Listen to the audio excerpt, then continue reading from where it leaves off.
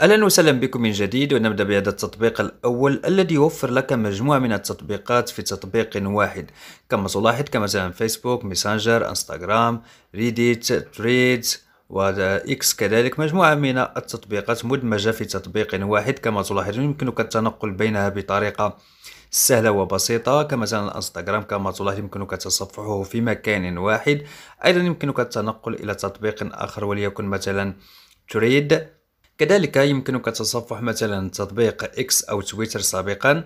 بصراحة تطبيق رائع جدا يدمج لك مجموعة من التطبيقات في تطبيق واحد ويمكنك صديقي حذف التطبيقات الأخرى التي تأخذ مساحة كبيرة جدا في هاتفك واستبدالها بهذا التطبيق الذي يوفر لك كل التطبيقات في تطبيق واحد. إذا كان صوت الهاتف الخاص بك ضعيف جدا فيمكنك استخدام هذا التطبيق الذي استخدمته شخصيا وجربته وأعطاني نتيجة خرافية جدا حيث يقوم برفع صوت الهاتف إلى أقصى درجة. كما تلاحظون يمكنك استخدام هذا التطبيق مثلا على أي تطبيق تستخدمه على هاتفك سواء للموسيقى أو تطبيقات أخرى كيوتيوب. يمكنك استخدام التطبيق على سماعات الرأس أو الأذن.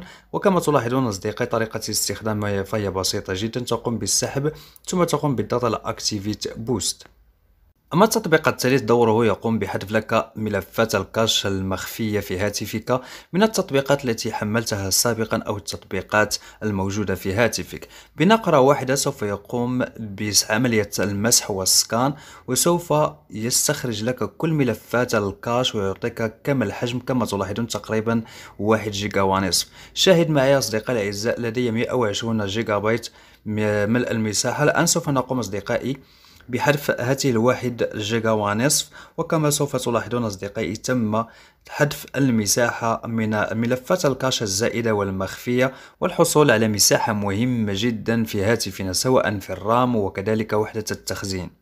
قبل أن نكمل شرح التطبيقات أود أن أقدم لكم هذا الموقع الرائع لزيادة المتابعين واللايكات على مواقع التواصل سواء إنستغرام تيك توك. كل ما عليك النقر على login تسجل في الموقع بحساب انستغرام مزيف لتفادي حظر حسابك الأساسي.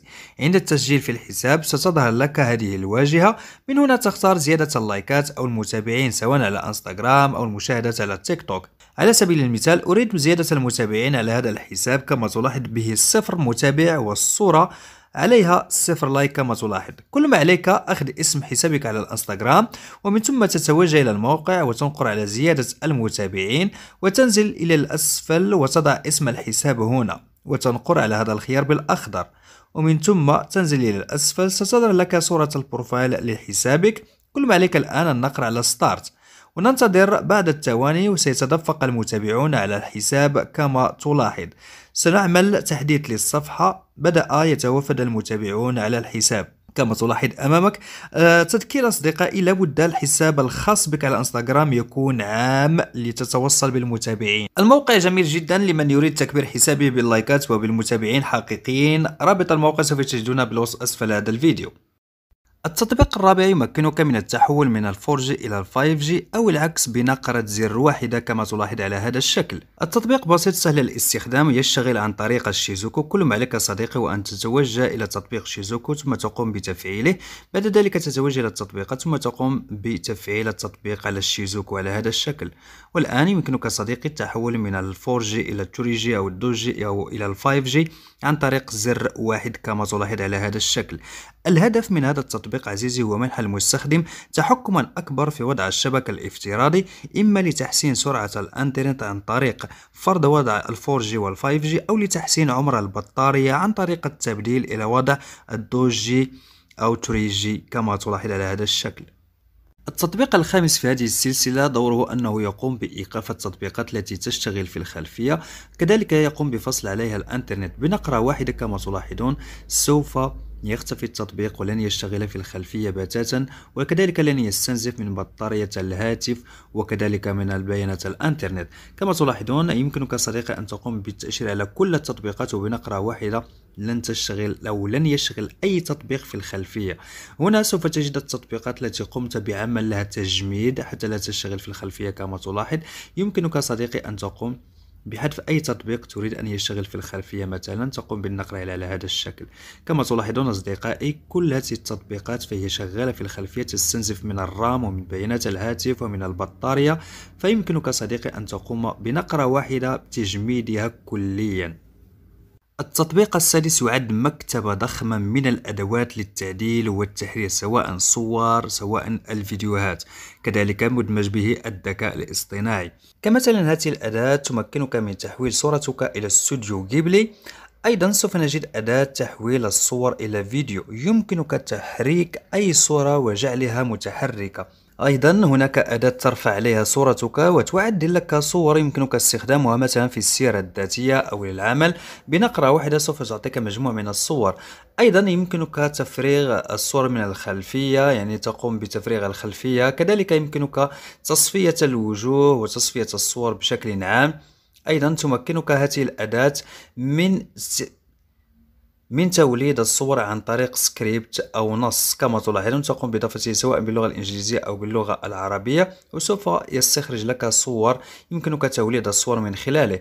أيضا هذا الخيار يمكنك من إضافة أي صورة وتصفيتها وجعلها full HD كذلك يمكنك تحويلها إلى كارتون.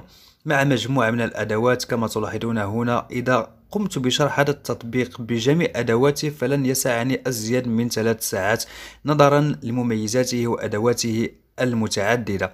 هذه الأداة ال AI expand تمكنك من تكبير الصورة. فمثلا لديك هذه الصورة غير مكتملة تقوم بإضافتها ثم تقوم صديقي باختيار الإطار الذي تريد آه، زيادة الصورة له. وكما تلاحظون أصدقائي في ثواني سوف يقوم بتعديل لنا الصورة وإضافة الأجزاء التي نريد إضافتها في الصورة وتبدو طبيعية جدا كما تلاحظون هنا قبل وبعد.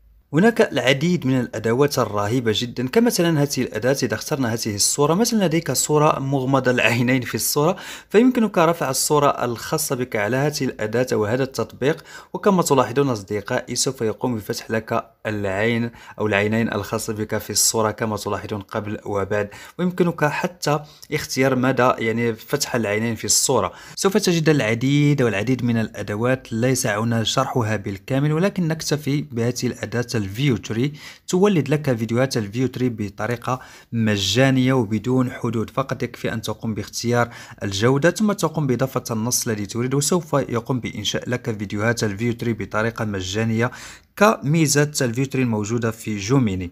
نعم أصدقائي مجموعة من الأدوات رائعة جدا داخل هذا التطبيق سوف تفيدك. التطبيق السابع تطبيق ترفيهي جديد ظهر على الساحة وكسر هيمنة التطبيقات الأخرى في ظرف وجيز نظرا لقوته. جرب التطبيق ستشكرني عليه